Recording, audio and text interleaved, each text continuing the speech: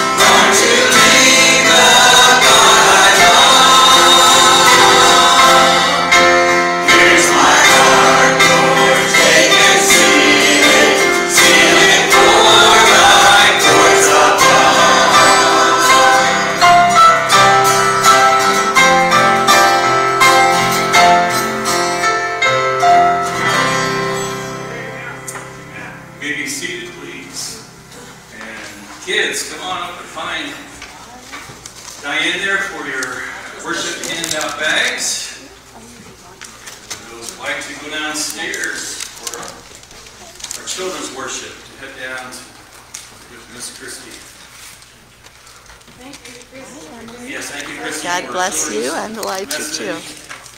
Thank you, Diane, for putting together the, the bags. I had help this month from Shirley and Mary. All right, Shirley Mary helped this one too. That's awesome. That's awesome. You ever hear those days where you're just discombobulated? It's one of those days for me, so. It's it's a word I use often, discombobulated. So let's go, Lord, in prayer. Father, I thank you for the day. I thank you for the rain, a place to meet that protects from the rain. I thank you that you're good, God, because we've not been that this week. We have not thought of you at times. We have actually been mean and ugly at times. But Lord, your grace, your mercy has been there every single morning for us. You continue to reach out to us, calling us not to be that way, but to, to follow you, to love you more. Now, Lord, I thank you so much for your grace. I thank you so much for, for all that you do. May this morning, maybe that we would just love you more, that we would follow you more, and not get distracted. Um, that takes us away from joy, it takes us away from hope, it just brings in despair to us. Lord, thank you to reach out. Thank you for the church. Thank you for just all that you do once again. And I know it's in Jesus' name. Amen. I'll turn on a fan. By the way, we sang about Ebenezer in that last song, and it's not about Scrooge. It's about the Israelites had set up this stone kind of monument to remind themselves that God is always God. So look back on it and say, God, you've always been with me, and you're going to be with me together. Back on January 9th, 2021, uh, we started this book, 1 Timothy. January 9th, started preaching through this book.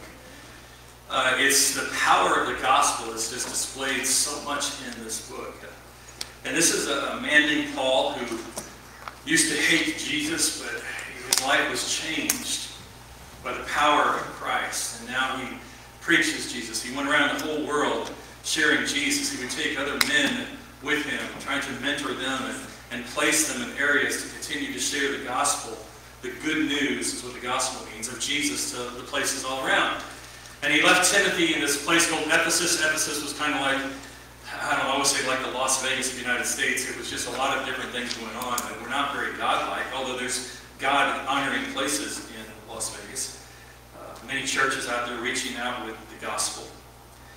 But he's writing this letter to Timothy, who was pastoring the church. He was the elder, the overseer, to encourage him in so many different areas. And he wrote about how men and women are to, to live out their faith as the body of Christ and all outside of Christ. He wrote about leaders within the church and encouraging them and how there's a standard that we all come to, but the, the, the elders are supposed to be that example. The deacons are helping in ministry.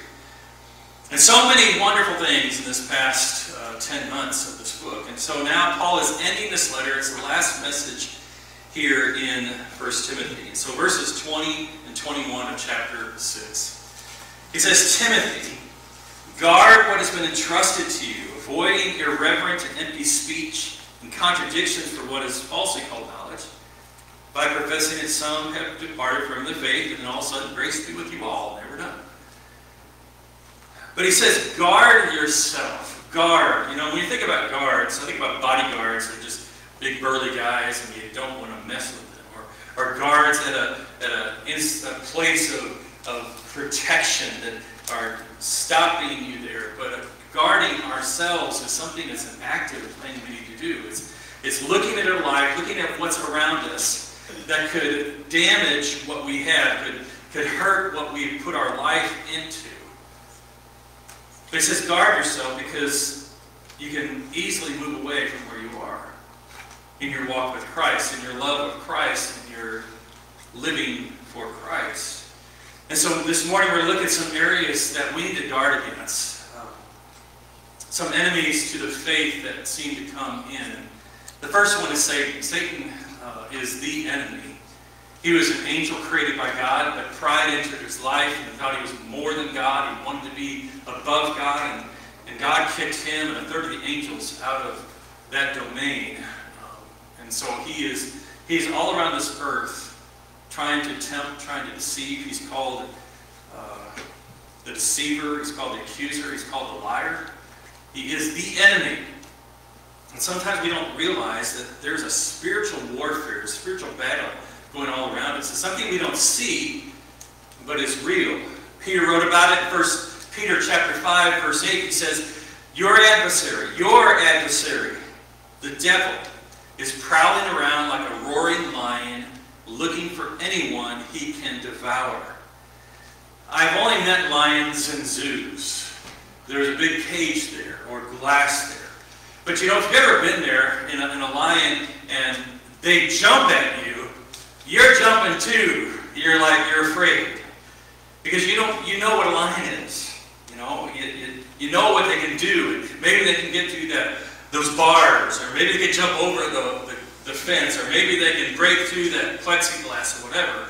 And it startles you, sometimes it makes you afraid, because you know the power there. And that's why this is illustrated this way, because lions were real back then when Peter was talking about it. And he's saying there's lions out there, but there's an adversary, an enemy, an accuser, somebody who wants to really hurt you as believers. And he's like a roaring lion. And he scares us at times. He puts thoughts into out there that we sometimes grab. He can't change anything, but he, he tempts us. He, he puts traps out there for us. And we've got to guard ourselves from them. Because he tempts us to, to walk backwards, step back away from our faith just a little bit, start, step back away from our, our loving Christ, how God has called us to do. He wants to devour us. He wants us to fail. He wants us to say no to Jesus.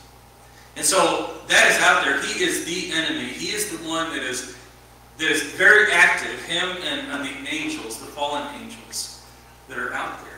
We don't see them, but they're very active in this world today.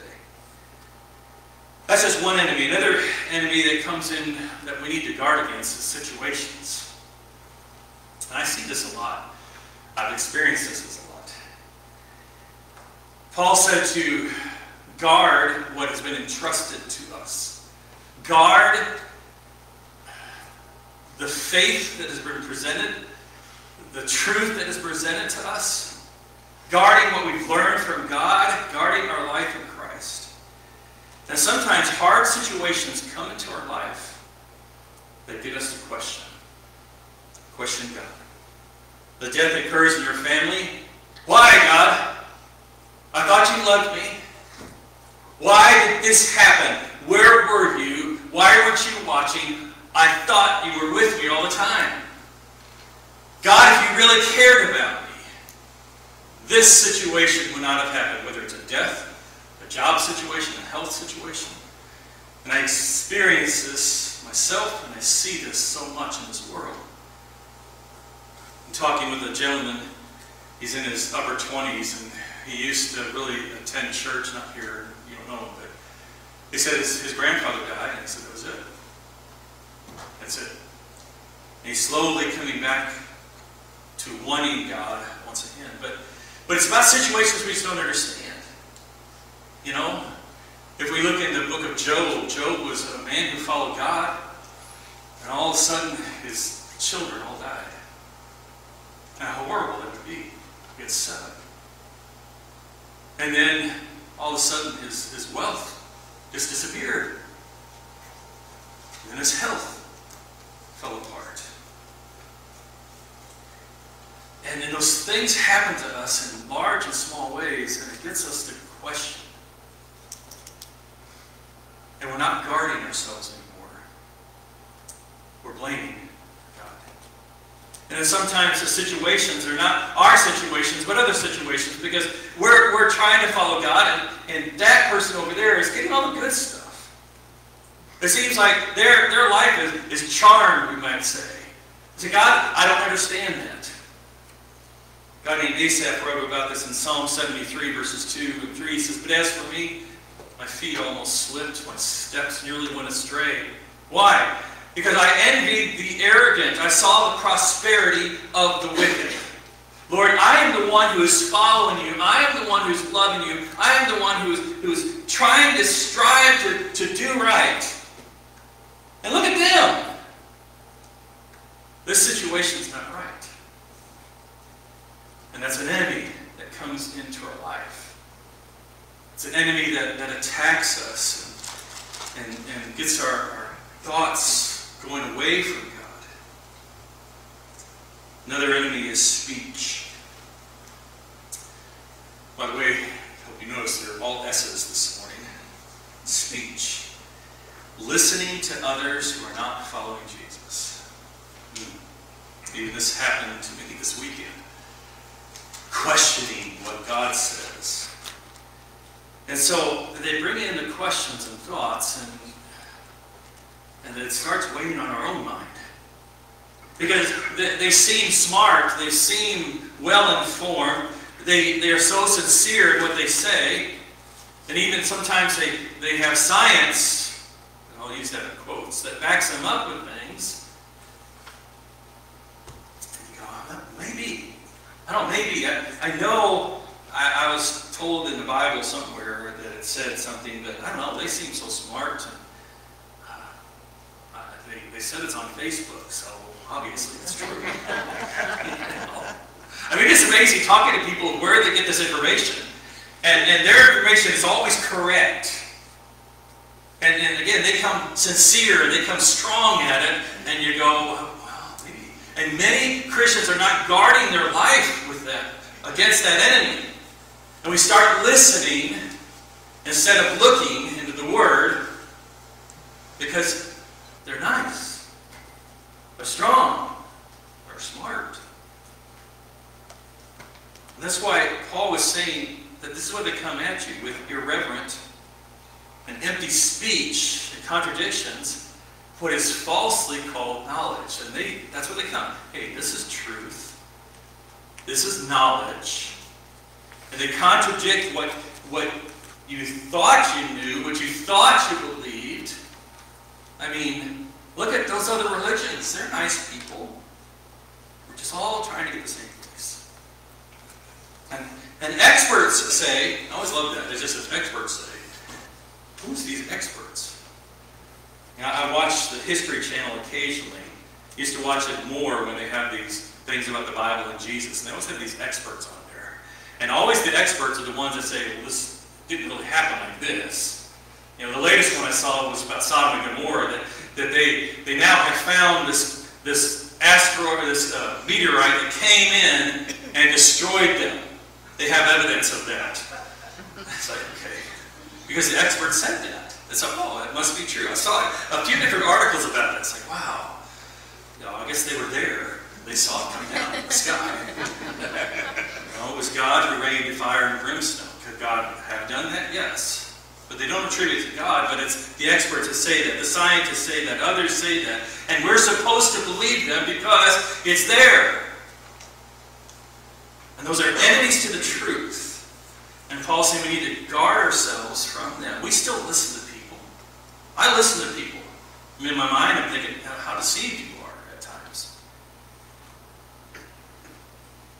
Another enemy, I think this is an enemy of the church that is very real. Um, an enemy that, that gets us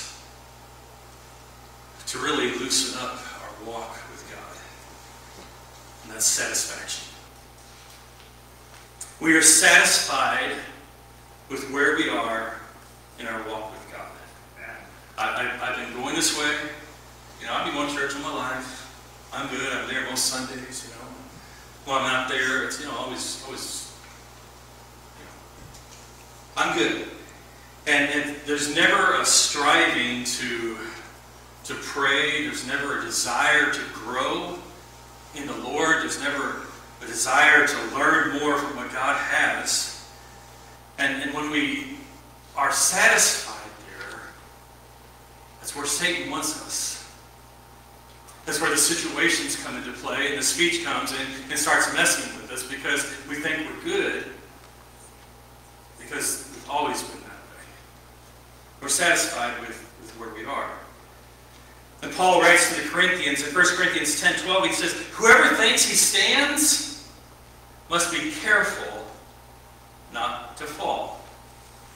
Now, you can put this in a real life situation, right? Where, where you're just standing here, oh, there's a ledge here. I know there's a ledge here. Ah, you know. Where we think we're, we're good, but we're just not careful physically. And we, we trip over something this tall, or we, we think the steps are done, and there's one more step, and we missed it, we go tumbling, or we think there, there's one more step, and those are the hard ones. You're going down a step, you think there's one more step, oh, there's not a step. You know, and, and it, we stumble because we're not being careful about our, our physical walk. But when we're satisfied in Christ, we're, we're not striving, we're not growing, we're just okay with where we are. And I see Christians. We're praying and fellowship and, and reaching out, giving. It just starts sliding because I'm just satisfied.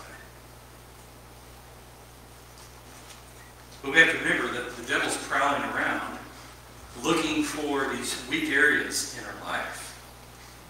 And when we're satisfied, when we're listening to the speech, when the situations are there just, just attacking us, and we're not on guard, Satan says. And there's other S's I could, and I had to stop myself. There's self. It all leads to self. You know, it's just me. There's solitude. Some people just so focused on just, I just want to be by myself, and not around people. Some people are so scared. Some have idols like sports. And it's anything that leads us away from God. So, Paul says be on guard. So how do we be on guard? There's a lot of those little S's out there. And, and, I, I, I, made sure there were little S's because there's, there's big S's.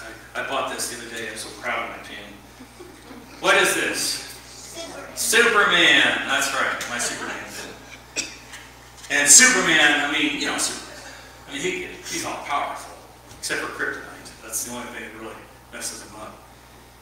And so we're going to look at some very powerful things that help us be on guard for those things that tear us down, the things that lead us astray, that distract us, the things that, that Paul is saying, hey, Timothy, you're a pastor. You got to be on guard for these things.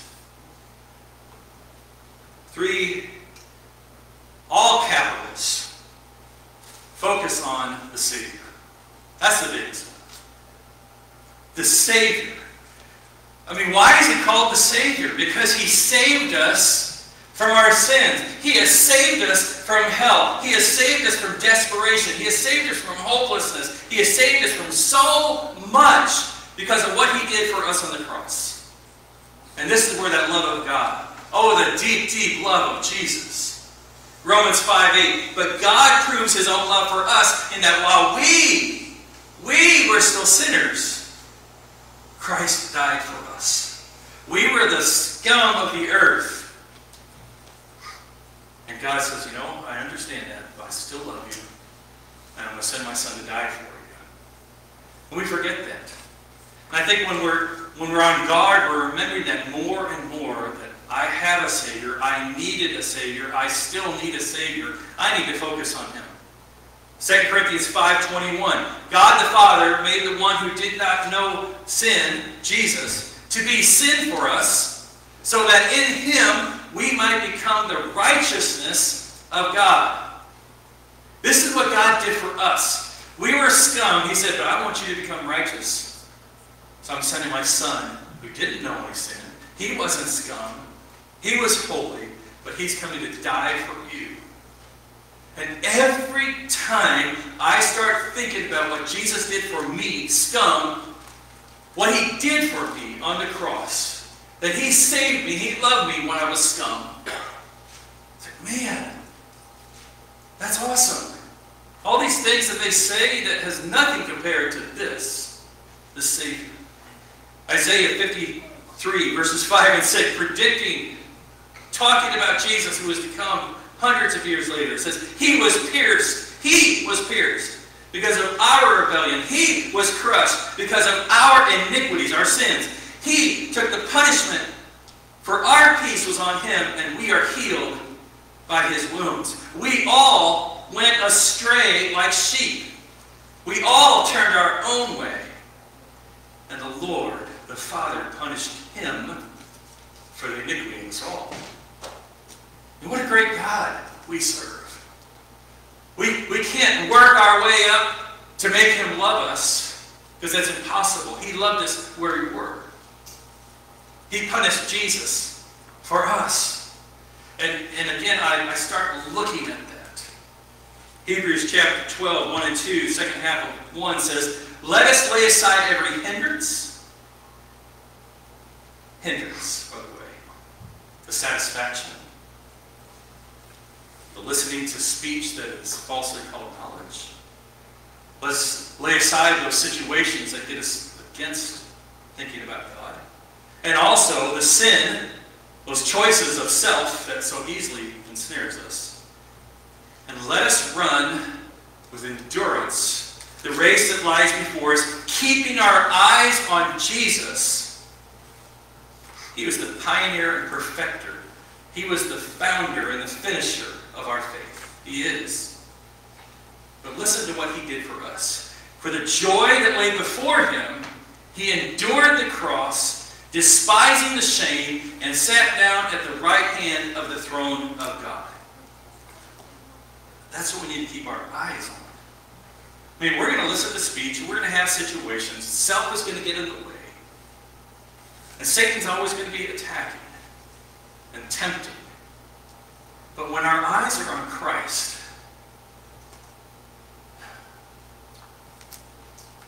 that's strong. How? You know, it's like, I understand those things. I understand that. I, have I've heard it and I believe it. But, but I need it. I need it to be more real. So another guard, we've been doing it, the scriptures. This book, this Bible, 66 books in here.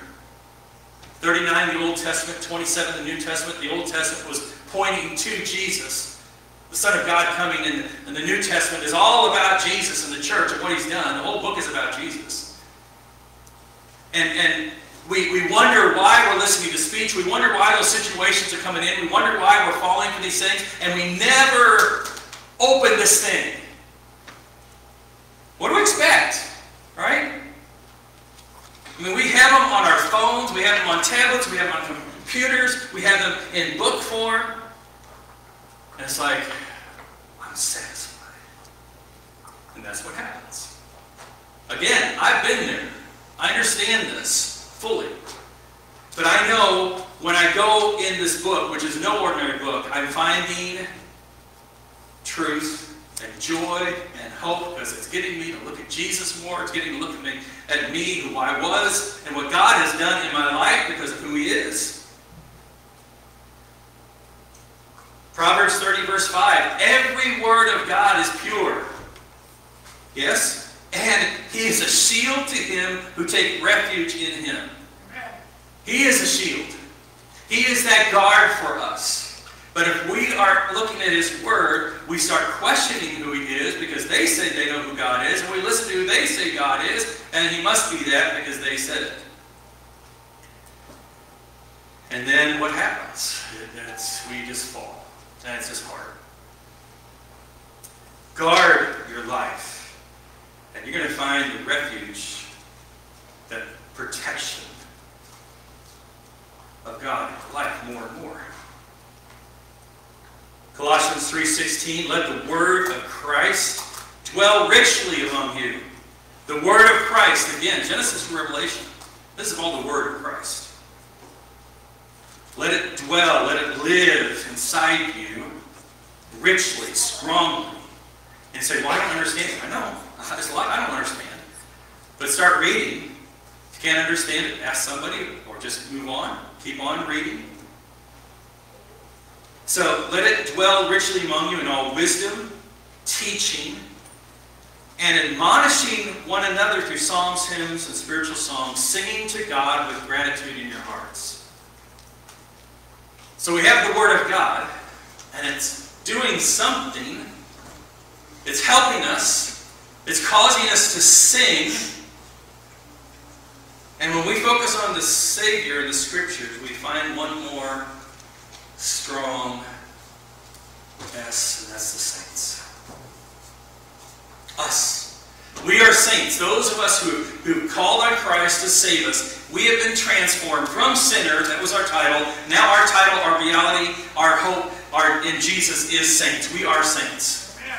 Everyone, everyone who's a Christian is a saint. You don't have to have somebody vote on it be your saint. You are a saint because God said you're a saint. Through faith in Christ and what He did for us on the cross. In other words, we need each other. And I know without a shadow of doubt in my mind, when, when a Christian leaves the fellowship of the saints, situations, speech, self, Satan says yes. Because you're going to start listening to me more, he says. Because we're not getting strengthened from one another. There's times in our lives when we are, it's hard. We're, we're, we're not feeling it, you know. It's like, God, where are you? You're silent, even though I'm reading, even though I'm attending. God, where are you? And we go through that. And that's why we continue to do this. We continue to focus on Jesus. I'm never going to stop talking about Jesus.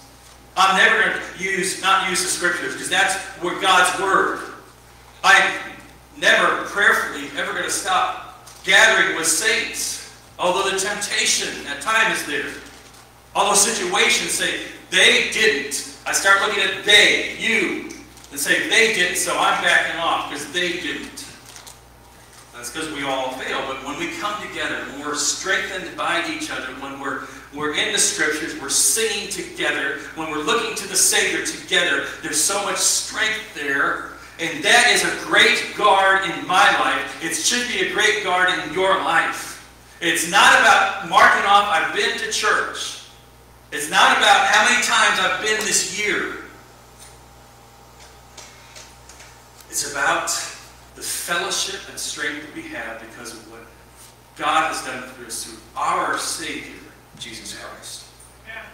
Hebrews 10 24 and 25. Let us consider one another in order to provoke love and good works, not neglecting to gather together as some are in the habit of doing, but encouraging each other, and all the more that you see the day approaching. In other words, there's a day coming where Jesus is coming back. And as this day approaches, it's going to get harder and harder and harder in this world to live for Him, especially on your own. That's why we gather, and I use this verse a lot, but why do we gather? It says it to provoke love, to stir up love, to stir up good works of going out for each other and, and going out into this world, to encourage one another because this world stinks. It is so discouraging, this world is. You turn on the news, and how many times you go, wow, yeah! That much. The news, what you see, is discouraging. That's why we need each other. Because we're not just gathered as a group, hey, hi, let's, let's just ramp it up and feel good. No, we're here because of our Savior. We study the scriptures that give us strength, and we need one another. We need the encouragement. I need the encouragement. You need the encouragement. I need you to stir up in me. You need me to stir up in you. We need to stir up all each other and love one another. Because we have to guard our life. I bet each one of us can think of somebody who hasn't been to church a long time and they used to go to church. They used to say, I love Jesus, but now they're just, yeah, Hebrews 3.13, but encourage each other daily while it's still called today, so that none of you is hardened by sin's deception. That's why Paul was so adamant at the end of this letter, after giving all the instructions, Timothy, guard your life. You have been entrusted, you have been given so many gifts of the scriptures, of fellowship, of, of, of all of this. But you still need to watch yourself. Guard your life. That's why we're here today. Is to praise and worship, yes, but to help us have a guard. That's why at the end of this letter, I, I just love this. At the end of the letter, and he's saying, watch out. Because those people are out there, watch out. I mean, where are you today? I mean, I mean, just be honest with yourself. Honest with yourself. God knows where you are. But honest with yourself. I mean, are you struggling in your walk with God? I mean, just because you come in here doesn't mean you're not struggling.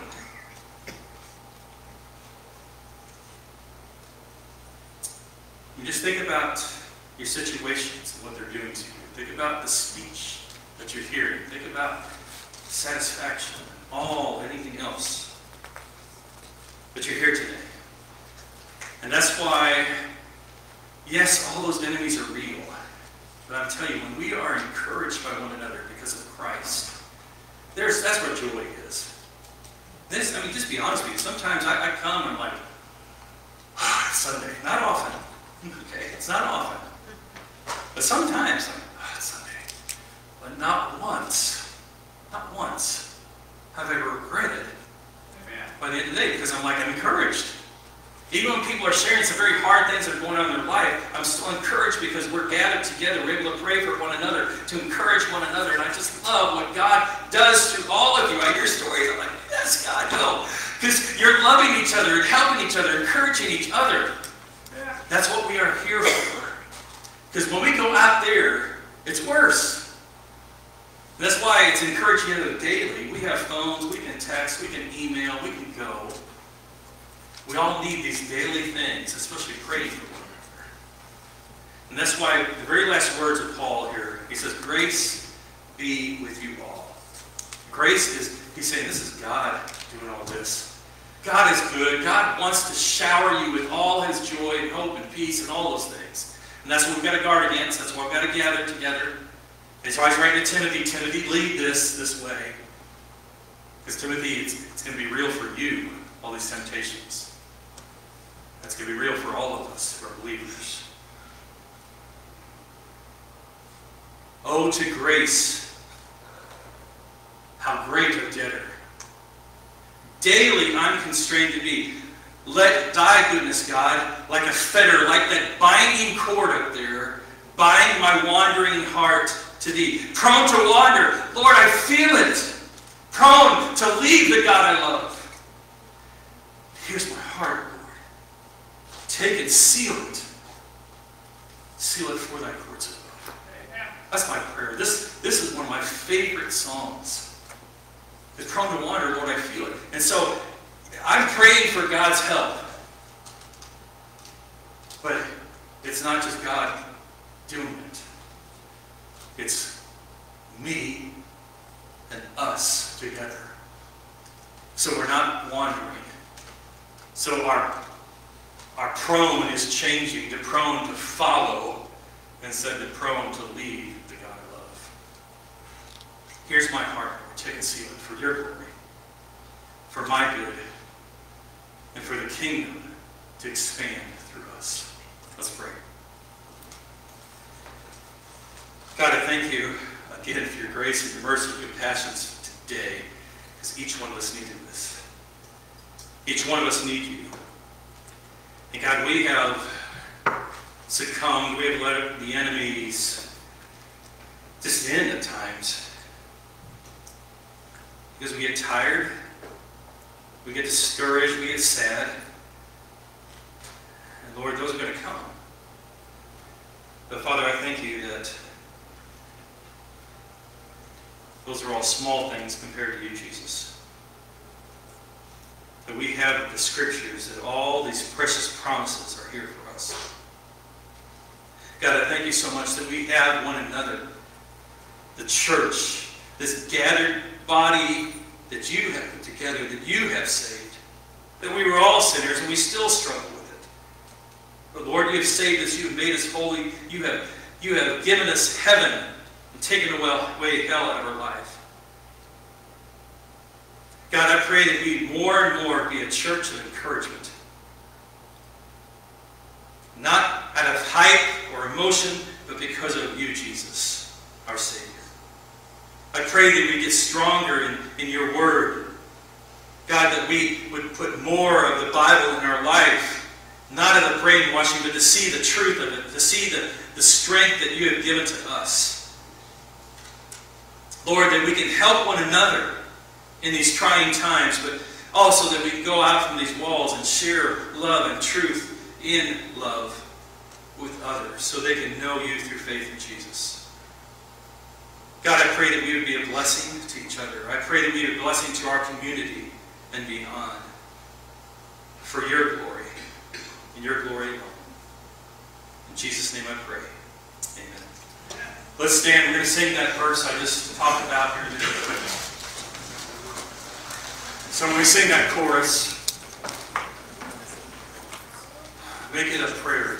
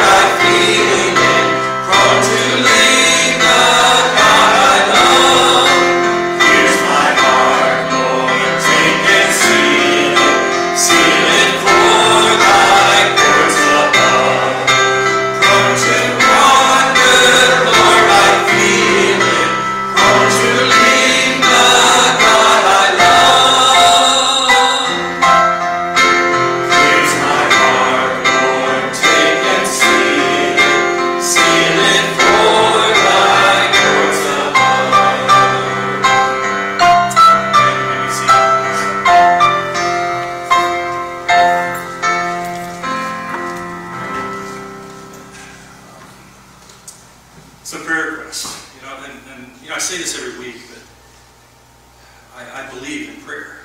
We need to pray for one another. I always love when I get a text or a message from somebody or a card, they're back there just filling out. Uh, First one, we pray because we have struggles. Well, we, we all have struggles. And that's the reality. I don't, I, you know, I'm, I'm transparent. I like whitewashing things. Although I'm very tempted to do those things. But let's pray for one another. There you go. All right, next. I, I forgot my sheet, so I have no idea what next. Uh, what's next, Larry? Oh, yeah. So, again, it's still going away. I'm, I'm always looking at the government tracks, and we are going on the downslide as the whole country is to uh, on the spread of the virus. Uh, so be, be informed. That's smart. Be informed by lots of places, not just one place. Be smart and be safe. And Ben, you're going to hurt me. Yeah, I'm gonna hurt you, all right. You got a hot mic anywhere? Sure.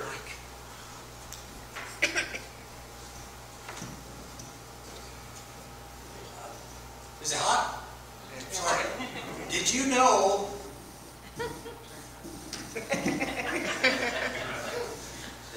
He's always giving me a bad time, okay?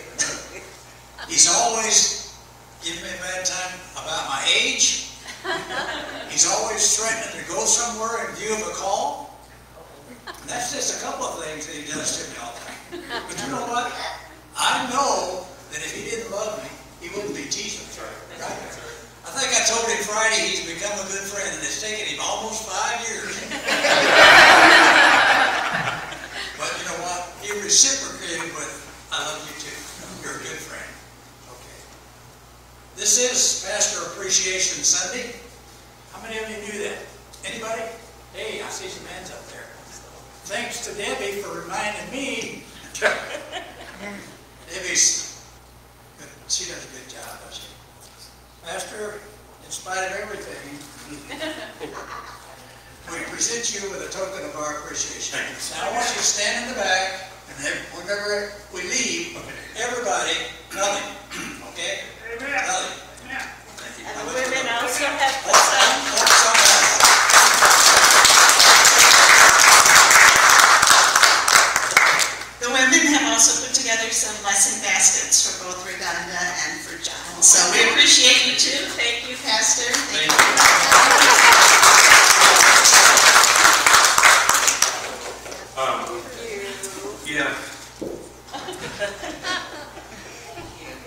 You have no idea how much we love you. I mean, we love you. Uh, it's just an amazing thing that God has gifted us with each other as, uh, as the leader here, as the shepherd that's under the true shepherd. Uh, I love the flock. And so thank you very much. Okay. Let's, let's go on. How about that? Wednesday night, we're in Revelation chapter 22, verses 6 through 15, almost done with our Revelation study. Uh, it's been great as we continue to look on the goodness of God uh, and what He has in store for us um, after the end of, of this world that we live in. Uh, next Sunday, we have Bible study at 9.30, worship at 10.30. It's a great time gathering together. I love it. Uh, just love it. Um, and again, I, I struggle with, like you, ah, Sunday. Sometimes I don't want to go, but I never ever regret of gathering together. It's always more joyful. Uh, birthdays this week. Kenny Thrower. He's he's still recovering. I, I ate lunch with him Sunday, but he's still recovering from. Didn't have COVID, but he had some nasty bug, uh, and so he's been working six days a week, and it's just he called this morning and said I just can't this morning. So, uh, so happy birthday, Kenny. For those online, make sure you, you give him that happy birthday thought. Trunk or treat. Here's an exciting thing. It was canceled. So there's wasn't enough participation. And, and speaking of that, I'll get right back to this. Uh, Mama B's is closed till Thursday because they can't get enough participation. We usually have coffee on Mondays, but those who join us, they're now closed till Thursday because of lack of workers. Uh, so make that a prayer request of just all places. It's just it is crazy. I've never experienced something like this in my lifetime. Uh, we've gone through a lot of hard times in our country, but this is unprecedented, the dying Lord. Uh, so pray if, if you can work, please work. But pray for local businesses especially, uh, local places that don't have the corporations uh, as they struggle. Uh, so, but trunk or treat, go back trunk or treat. So, go back one, Larry, please. Trunk or treat. We collected this, and I found out, and I was just like, what am I going to do? I can eat half of that. And, so I just kept on thinking, what are we going to do? And so then I went home, I drove by the school, I was like, well, duh. We are going to be a blessing to our school once again. We're going to put together uh, plastic shoe boxes full of candy for each classroom. They will distribute it. We're going to give the big bars to the teachers and staff so they can enjoy that. We'll, we'll send some other healthy stuff too for those who rather have some healthy. Although I look at that and I say, ooh, health. That's and so if you'd like to bring some more candy, that's that'd be great. I don't think we need more big ones unless you already bought them. We'll still get them out there. But some more small ones so kids can have more than one. There's 300, over 300 children over there, and we have probably, I think there's like 700 pieces of candy here already. But it'd be great to get more than a few. But again, we want to be a blessing to our school we have ties with. So if you have candy, it's fine, but if you want to get the plastic shoe boxes that have lids, not big things, but plastic shoe boxes, you know what they are, um, that way we can get into each classroom up there. All right. Anything, any questions on that? Do you know how many classrooms there are? No, we're, we're getting information Getting back them now, and Okay. also teachers and aides per class. So we want to bless everybody up there, uh, and then we'll find out also if there's any food restrictions. That's why we have chocolate and just sugar, again, all the good things. So the tooth fairy can come and enjoy their work. Yeah, Edith lost a tooth this week, so. Yeah, did you, did you hit her? or fell? No. All right, so, so, again, we're going to be a blessing to our community, that's what we want to be. And so it's just a change of blessing. All right, then offering on the way out, if God is leading you to, and he better be obedient to as he leads, you place it out there or give online. Uh, one other thing, we are still giving away these books. If you have not gotten one, or if you have an old friend, honestly, you have a friend that would like to get this book, hearing great things from people, we're reading ourselves, but it is good. It's encouraging. It points us to Jesus and just who He is. Very encouraging book. And sometimes I'm like, I'm like, I don't get it, I just move on. Okay, in my reading. And so I'll have those back there uh, for you all. If you've not received one, or you know someone else. Anybody? Anything else? All right. This next sign says, have a great week as you share the gospel, the good news of Jesus Christ with us. Amen. God bless you. Goodbye.